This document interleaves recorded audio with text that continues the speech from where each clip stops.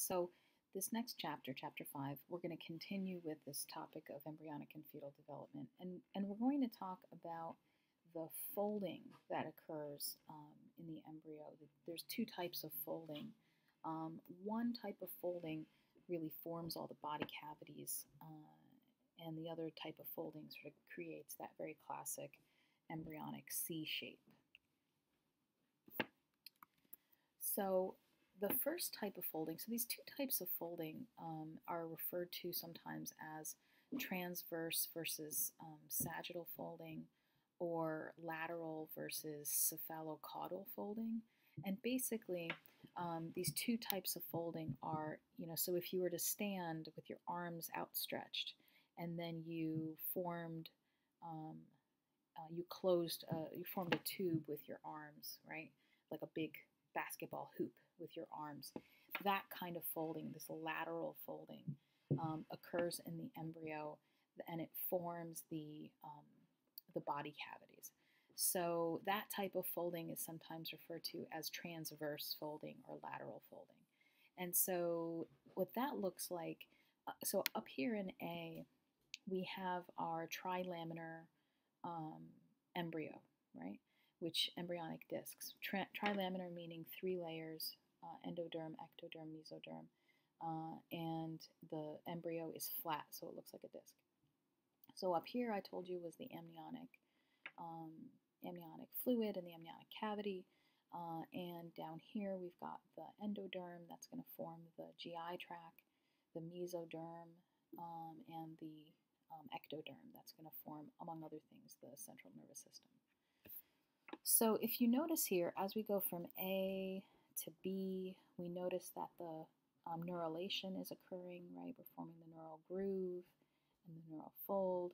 But what's also happening, if you notice, that these ends of the embryo here are starting to move down. And then if we go to D, they're actually starting to, to um, pull together. Okay? And they're pulling together and they're pinching off a portion of endoderm. And they're eventually that portion of endoderm that they're pinching off is going to become the GI tract or the gut. And the space on the on either side of it is going to form the body cavities, abdominal, pelvic, right? Thoracic cavities. These hollow spaces in the body are actually formed because of this lateral folding of the embryo. And so over here in E, those, those ends of the embryo are actually now all sealed up. And we have the, the GI tract, the primitive GI tract. We've got the body cavities here, the hollow cavities. We've got the dorsal aorta, right, the primitive aorta in the back. We've got this, uh, if we're at the end of the, the caudal end of the embryo, this would be the um, primitive spinal cord. Okay? So you can see that this embryo sort of seals itself off and forms this body cavity um, as a result of this lateral folding. And what, what you don't notice because it's been cut between C and D, it's been cut away, is in the process of doing that, in the process of that lateral folding, it's also wrapped the amniotic cavity around it forming that amniotic sac. Okay. So if we look um, here, we'll sort of see that. So we've got the, the embryonic disc here, right, and the formation of the um, neural plate and the neural groove and the neural tube. And you can see that these ends are starting to move in. They move in and start surrounding this embryo and they're wrapping the amniotic sac around itself. Okay. Now, so you can you notice in the last two um, slides that this process of lateral folding is actually happening simultaneous with simultaneously with the formation of the nervous system. So with neurulation. So as neurulation is occurring, this lateral folding is also occurring. Okay. So if we go to another little clip, YouTube clip, we can kind of see this folding in action. Uh, please excuse the moving in between. So over here we've got the we got our trilaminar disc. We've got the um, bottom of the embryo here, and then the amniotic at the bottom of the embryo. This portion extra extra embryonic tissue um, below the disc, and um, the amniotic cavity above the disc. And it's just this portion at the center that's actually the embryo. So if we watch now, the neurulation is happening, you're forming some, some other tissue, and then this, this embryo is starting to fold. This lateral folding is occurring. And it's going to seal, right? And it's at this point when it seals that now the center of this is the embryo. What's surrounding it is now the amniotic cavity, amniotic fluid, and it's formed its gut and its body cavity. Okay? And so that is the lateral or transverse folding of the embryo.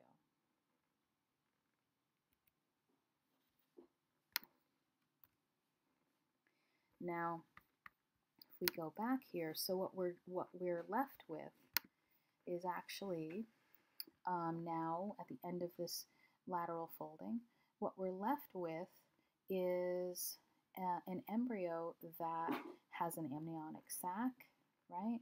It's got this connecting stalk that's going to eventually form the umbilical cord, right? At the same time, you start to see these this tissue that used to be trophoblast that's going to start to form the fetal portion of the placenta. Okay? And now you've got an embryo here, little head, little cute little head. Um, and so you've got this embryo here that now has a body cavity. It's got this sealed up. It's no longer a flat disk of cells, right? It's actually starting to look like something. It's surrounded by the amniotic sac.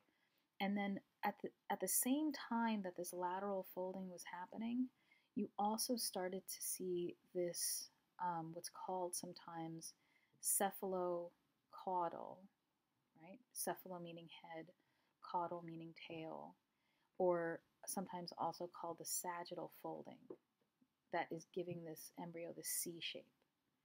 So while the lateral folding is happening, the embryo is also starting to curl in and form the C shape. Okay. And you can see um, we've got now at 28 days uh, embryonic age, we have this embryo. It still looks a little lizard-like, but it's um, certainly a far cry from a flat disc. And it's got this very, very clear C shape. It's got a primitive heart that's already beating and is already can be um, heard on um, very sensitive ultrasound or sonogram, can be seen on an ultrasound. It's got a brain here that's forming, okay, primitive but forming. It's got those somites that are going to develop into the vertebral column and the, the muscles of the trunk. Okay. So it's really, even though it's all primitive, it really has it, the basic body plan already formed. And this is the payoff to organogenesis. And over here we've got um, an, uh, just an amazing picture of this, um, an actual embryo at that same 28 day stage. Okay. Now these, um, the, the next two slides are really um, just sort of a, a reference and to sort of be amazed by, not by any stretch of the imagination do I expect you to to um, learn all of these, but basically, the, the notion that you have these three germ layers, right? So from this inner cell mass, we form these three basic embryonic germ layers endoderm, mesoderm, and ectoderm. And from these three germ layers forms all of the tissues of the body, right?